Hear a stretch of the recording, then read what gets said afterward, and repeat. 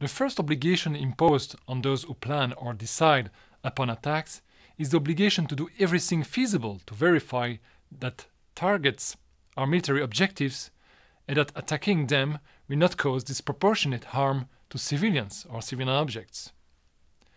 This obligation of verification aims at ensuring respect for both the principle of distinction and the principle of proportionality.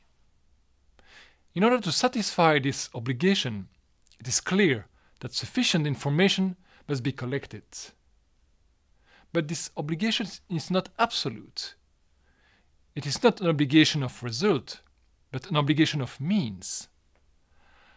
Attackers are only required to employ all feasible measures to acquire information. This depends upon the technical means of detection that belligerents have at their disposal. Some air forces have modern reconnaissance devices like satellites or drones, while others do not. The obligation will also vary according to the circumstances around the attack, including time constraints, which may prevent all possible sources of information being exhausted.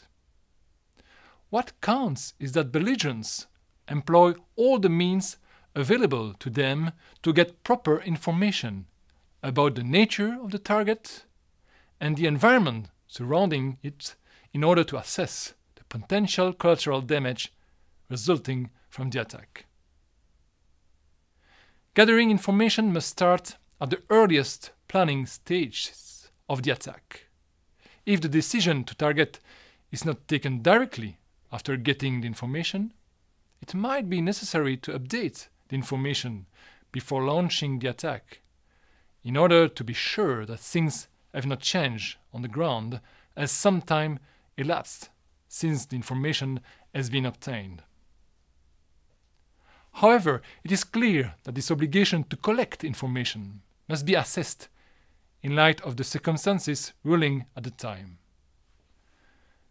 As rightly emphasized by scholars, any post event reviewer must resist the built in temptation to scrutinize the situation with the benefit of knowledge of the facts as they actually unfolded. The second obligation of precaution imposed on those who plan or decide upon attacks is the obligation to do everything feasible to choose means and methods of warfare with the view of avoiding or at least minimizing collateral damage to civilians and civilian objects.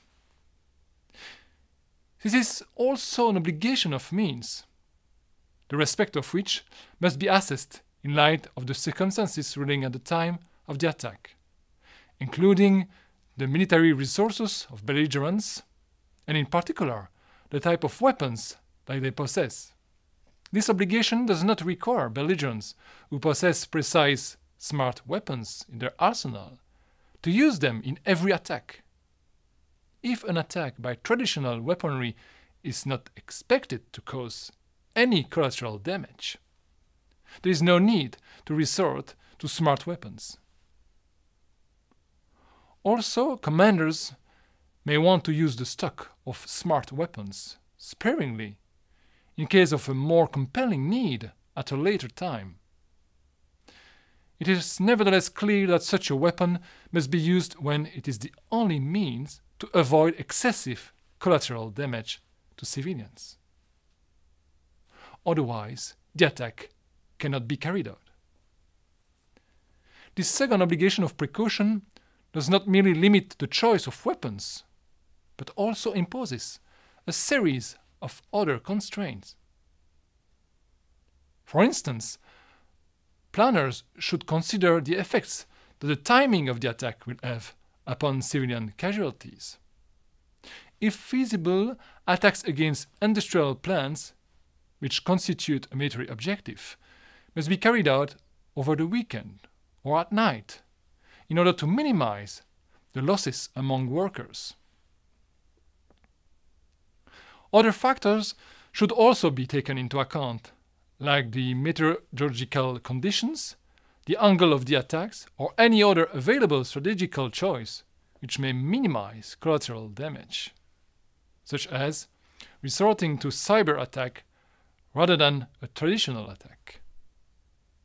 The third and last obligation of precaution binding upon those who plan or decide upon attacks does not need any specific comment. It is a logical consequence of the principle of proportionality. Belligerents must refrain from launching an attack expected to cause excessive collateral damage to civilians or civilian objects as compared to the anticipated military advantage. And it is clearly an absolute obligation and not an obligation of means.